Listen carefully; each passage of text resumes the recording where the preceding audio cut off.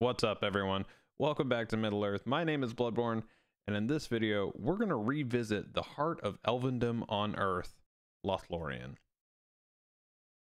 Now before we get going, be sure to click the subscribe button and bell to get notifications for new content in the future.